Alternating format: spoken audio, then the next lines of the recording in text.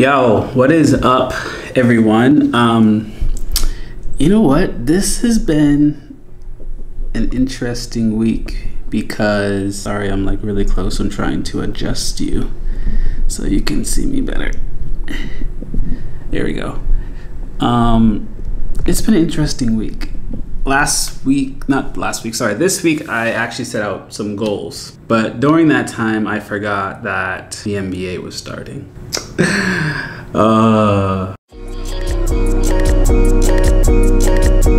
Black boy joy, she wanna see the Forbes like I wanna see her form. Tell me what you for, yeah. Hey, you pay me what I'm owed, yeah. All right, so I did end up, I didn't complete my goals, but I feel like it was a very successful week. And I keep going back to this idea in my head that being patient is extremely impossible. Is being strict, being patient is extremely important. I'll tell you why.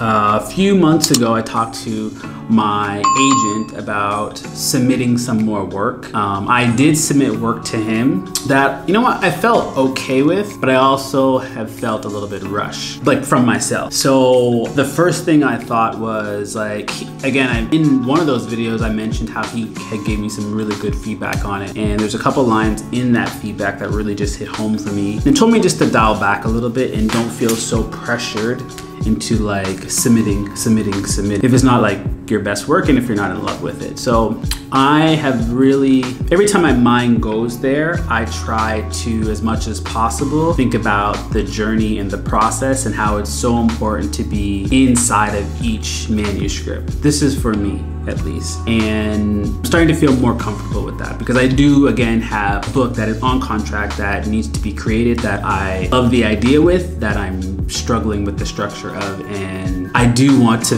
really immerse myself in that. So with all of that, I don't know if you understand it at all, I am happy with where I am. I didn't get my goals done this week because you know what, basketball started and I just couldn't help myself. I did get through most of the chapters in my novel that I wanted to. I Still have to get through six and seven and those are the two meaty parts that really have to be changed. Um, it sucks going back and looking at work that you've created and having to delete it. And actually with that, I think, I don't remember who said it, but someone wrote online like, don't delete work that you um, written, just put it into a different file. So that's what I did. It took like, I think it was like 1500 words and I put it in a separate file just because it could be something that I go back to or pull from later on. Um, but then I had to write that, now I have to write that 1500 words over again just to make sense, right? So hopefully by tomorrow, I have that figured out. Um, and then I think I want to, I have about, I'm more than halfway through the book. So what I want to do is at least talk that, talk the novel out to someone, wife, possibly my agent, just to see if I'm going in a direction that is like understandable.